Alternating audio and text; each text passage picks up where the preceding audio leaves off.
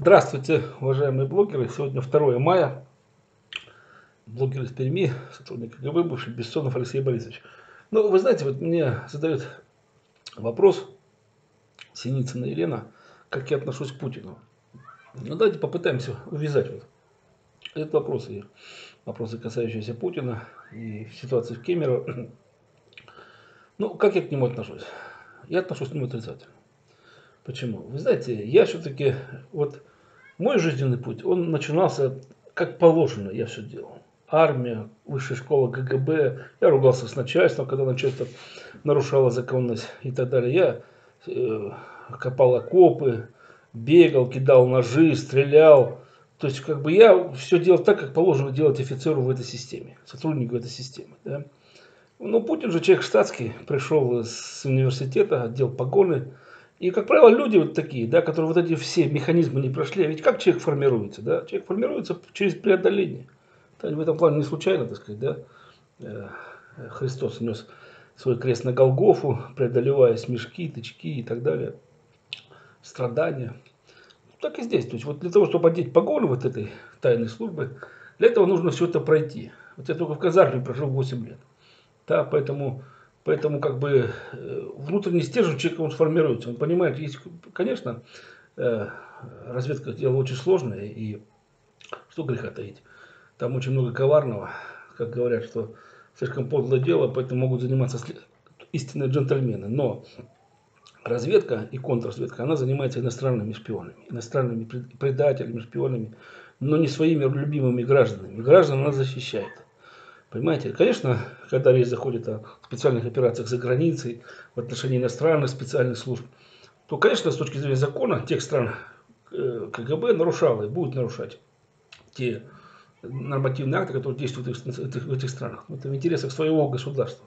Но в отношении страны, в отношении своих граждан, здесь должно действовать только законность. И ничего больше. Путин же человек, который через это все перешагивал. И перешагивал неоднократно.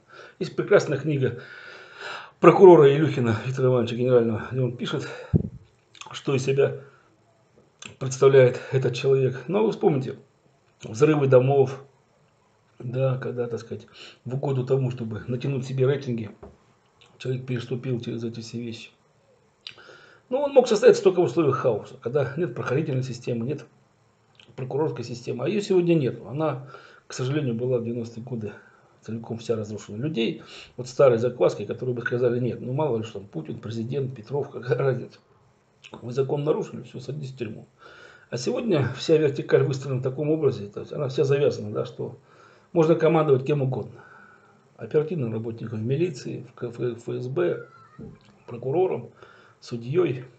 То есть нету того стержня, того фундамента, который бы объединял систему, который назывался государством. Да, фундамент, один принцип преданности одному человеку, это не государство, это какая-то автократия, понимаете, или что там, так сказать, да, Цезарю преданность, это не, это не государство. Поэтому Путин и его карьера, же, вспомните, в 90-е годы, когда он работал в мэрии Собчака, об этом очень много фильмов снято. В принципе, справедливых фильмов снято. Да, чем он там занимался? Да он совместно с бандитскими группировками, как утверждают авторы фильмов, делил собственность там и так далее. Я этим не занимался никогда. Понимаете, да, я был в этом плане наивен, да. Я говорил о законности, о необходимости соблюдения законности и так далее. За это, так сказать, там в психушки бросали, стреляли там и так далее. Вот. А Путин у него этих вопросов в голове, в душе, в создании никогда не возникало. Надо там, так сказать, решить вопрос с бандитами. Пошел и решил. А законность как? А, а если прокурор придет, начнет разбираться, и, все, и ты получишь свои 15 лет или пожизненный срок – ну вот прокуратуры не было, и он не получил. Поэтому, поэтому я к таким людям отношусь с чистой брезгливостью, откровенно говоря. И потом, я, знаете, что еще хочу сказать? Что, э, что, что феномен, ну я сказал, что феномен мог только смутно состояться. Да, и потом, Путин, у него, понимаете, он всегда был на второстепенных ролях в КГБ, да, не проходил вот эти вот ситуации, он никогда не, не сидел в засадах, на учениях там не копал окопы, там не кидал ножи, там. Ну, он закончил 101 школу, кстати, эту 101 школу мы перекрывали. Преподавателями были мы, потому что наше учебное заведение оно было базовое по всему Советскому Союзу, и преподавателями мы уходили во все, во все школы. Их было в Минске, Новосибирске, потому что читается огромное количество специальных дисциплин. И они тоже там нужны, тоже нужны специалисты. Учить шпионить тоже надо уметь. Вот. Поэтому, э, как бы он всегда был на вторых ролях, ему, и у него, видимо, внутри вот эти вот игры в шпионах, они не переигрались, да. Отсюда, ну и вы же видите окружение Путина, кто при нем возглавил ФСБ. Там люди вообще с улицы просто приходили. Вот артист был там, Севастьянов, которого Ельцин пригласил. Он хотел быть шпионом всю жизнь, книжки читал и хотел у него с детства это все было. Ему, кстати, в академии у нас говорят, ну давайте, говорит, мы для вас создадим курсы, там, месячные, двухмесячные, вы пройдете, хотя бы мы вам расскажем как, что обучим. Ведь, ну, понимаете, это же такая же профессия, как профессия врача. Сталин же был не дурак. Он всю Академию Генерального штаба переводил на ускоренное обучение. Преподаватели в армию уезжали, а контрразведку, разведку сказал нет. Полный курс будете учить. И всю войну, кого набирали, они учили все пять с половиной лет. Полный курс. На удовольствие были на военном, пайки хорошо платили. Но никаких, так сказать, все, говорит, дело подлое, хитрое, поэтому должны быть все проходить как положено. А, а они, если он с улицы, вчера он там в бизнесе где-то работал, захотел стать директором ФСБ, стал директором ФСБ, генералом ФСБ, он там генералом за 8 лет становится. Или с МВД пришел, у нас из Зубчика есть, и рассказывал про него. Как он бизнесменов собирал здесь в Перми в 90-е годы и говорил, что вы с бандитами-то не ругайтесь, вы платите им деньги. Вот такая времена, такие смуты, что там, там не бывает людей ярких, мощных, потому что ну, смута, смута рождает своих героев, своих и так далее. Поэтому, да, и Путин, вы видите, он всю политическую жизнь страны, всю общественную жизнь превратил в спецоперации. Выборы, спецоперации, взрывы домов. Вот сейчас Кемеров тут игрище устроил там и так далее. То есть, ну а зачем это надо? В стране должен действовать законность. Вот если бы я был начальником ФСБ или управления ФСБ, в центральном аппарате. Мне пришли с администрации, сказали, вот организуй такие дела. Там, я сказал, ну пошли вы нахер, есть закон, вы что мне притягиваете, зачем? Поэтому я никогда не стану, не стану при Путине и, и так далее. При, в КГБ там все нормально было, там все-таки э, они заботились о будущем системе, о тем, кто придет, чтобы люди были образованы с каким-то стержнем внутренним. А этим ничего не надо. Он дал команду из администрации там какую-то спецоперацию на выборах провести, они провели. Ну какая, какая может быть спецоперация на выборах? На выборах может одно быть, воля граждан. А спецслужбы должны охранять эту волю, чтобы на нее никто не действовал. Не нравится он вас, переизбирайте, избирайте другого, идите в суды, но и судов-то нет. Поэтому, ну, к сожалению, вот в такой цикнот мы попали, да, и экономики нет, ничего нет. Есть сплошные специальные операции. Он упивается вот этих специальных операций. Я считаю, что если бы хотя бы раз один из кого-то из руководства ФСБ бы посадили на скамью подсудимых и спросили вот за все эти дел, делишки, которые тут устраивали, то все, вопрос бы был решен. Никогда бы такого безобразия больше не, не, не притворялось. Потому что ФСБ это не удавка в руках одного, там, Путина, Смутина, там, Патрушева и так далее. Это государственный орган. Его задача прохранение, прежде всего, соблюдение законности. Понимаете?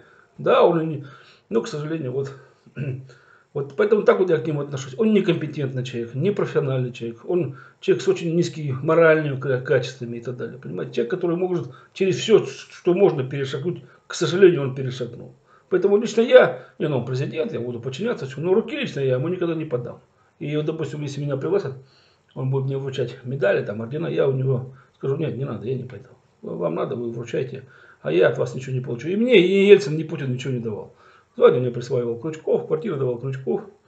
КГБ было, конечно, там тоже на большом уровне какие-то игры еще были свои. Но мы это не, не знали. Наше дело было маленькое, мы выполняли приказы свои.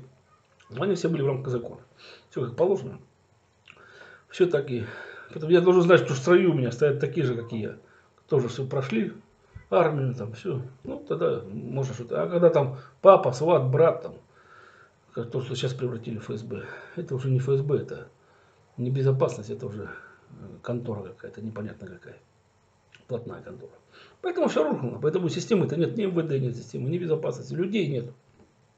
Поэтому и выборы превращают в специальные операции.